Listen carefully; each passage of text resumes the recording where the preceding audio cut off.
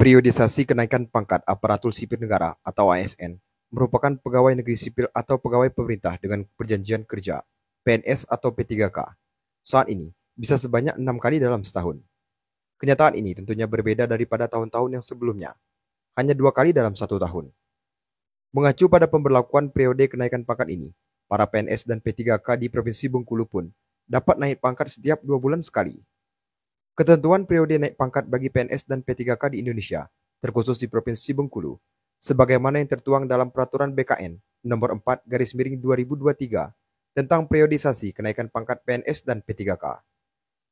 Tidak hanya berhenti di Peraturan BKN Nomor 4 Garis Miring 2023, berikutnya ditegaskan kembali dalam Surat Edaran atau SE Kepala BKN Nomor 16 Garis Miring 2023 tentang penjelasan atas periodisasi kenaikan pangkat PNS dan P3K yang diterbitkan pada Oktober 2023. Dikatakan Menteri Pendayagunaan Aparatur Negara dan Reformasi Birokrasi atau Menpan RB, Abdullah Azwar Anas, hal ini dilakukan sejalan dengan salah satu program prioritas dari kementerian yang dipimpinnya.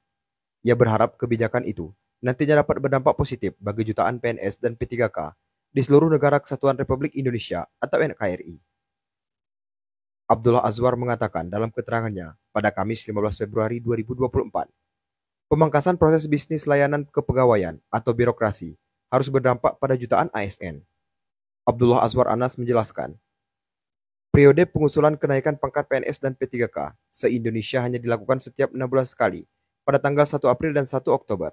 Namun soal ini, pengusulan dapat dilakukan PNS di tanah air, termasuk di Provinsi Bengkulu setiap dua bulan pada tanggal 1 Februari, April, Juni, Agustus, Oktober, dan Desember. Meskipun demikian, Periodisasi pengusulan kenaikan pangkat PNS dan P3K sebanyak enam kali ini tidak berlaku bagi jenis kenaikan pangkat anumerta dan kenaikan pangkat pengabdian.